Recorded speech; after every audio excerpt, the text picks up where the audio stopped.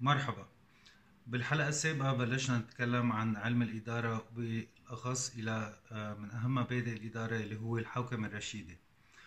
وكما قلنا أنه الحوكمة الرشيدة إذا اليوم بدنا نحل جميع مشاكل لبنان بمبدأ إداري واحد نتكلم بالحوكمة الرشيدة. وتكلمنا أيضا عن المبادئ يلي هي بتأسس الحوكمة الرشيدة. واليوم حنتكلم عن آه، أهم وحدة فيها يلي هي تعتبر إذا بدكم من أهم ركائز الحوكمة الرشيدة وهي الشفافية. آه، بالآونة الأخيرة عم نسمع جدا عن هالكلمة. شفافية شفافية شفافية بدنا شفافية بدنا شفافية.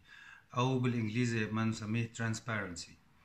آه، شو هي الشفافية؟ الشفافية بكل بساطة هي الحق إلى الوصول إلى المعلومات. بكل بساطة. يعني اليوم نعطي مثل. آه، المشكلة اللي عم بتصير بالبترول المغشوش مع موضوع سوناتراك.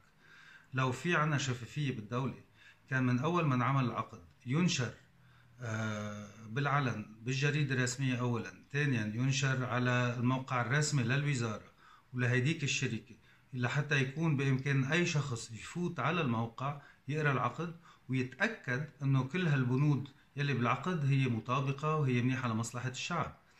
الدولة أو الشركات أو الأشخاص يلي عم بيشتغلوا بناء على مبادئ الحوكمة الرشيدة ويلي آه هن آه ما عندهم شيء خبوه وعم بيشتغلوا لمصلحة هالشركة أو لمصلحة هالدولة أو لمصلحة هول الناس يلي آه يلي مؤتمنين على حياتهم وعلى رزقهم. ما عندهم مشكل ينشروا جميع الأمور يلي بيعملوها للعلن لأنه ما عندهم شيء آه، عم بيتبعوا القانون تحت سقف القانون عم بيعملوا مصلحة الشعب عم بيعملوا مصلحة الشركة تبعيتهم أو الدولة تبعيتهم أو الوزارة تبعيتهم أو الهيئة أو المؤسسة يلي هن مؤتمنين عليها. ولما يكونوا عم بيعملوا أفضل نوع شغل بدون شوائب وتحت سقف القانون ما عندهم شيء يخبوه. يلي ما عنده شيء يخبيه أكيد ما عنده مشكل ينشر جميع المعلومات. والشفافية لو هي موجودة وعندما تطبق بلبنان هي كمان من ركائز مكافحة الفساد لأنه لما يصير كل المعلومات منشورة الفاسد ما بعود بيقدر يسرق لأنه دغري بيبين شو صاير.